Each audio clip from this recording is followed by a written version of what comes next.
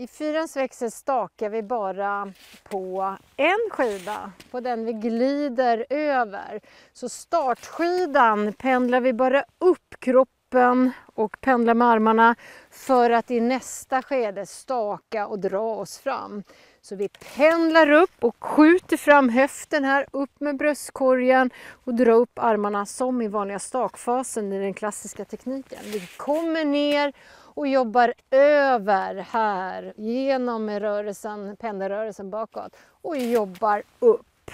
I fyrans växel så startar vi med en pendelfas, en glidfas innan vi sätter i stavarna och trycker oss ifrån med andra skidan.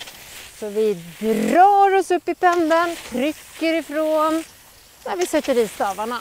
En bra övning för att få in tajmingen det är att man står, jobbar med pendelfasen och bara står på golvet eller på skidorna stillastående och jobbar genom rörelsen här för att hitta fyrans timing.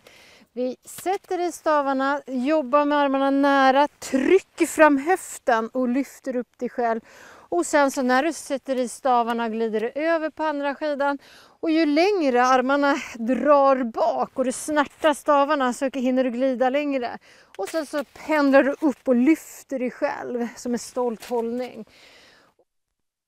En bra övning för att hitta rytmen i fyrans växel är att köra utan stavar. Vi lägger stavarna åt sidan och bara lägger över vikten skida, skida och känner pendelskjutsen av armarna.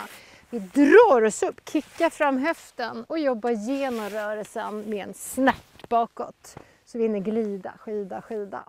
Du kan också lägga till en liten klapp här för att utmana balansen. Vi lägger oss på en skida, klappar till och sen går vi ner och jobbar.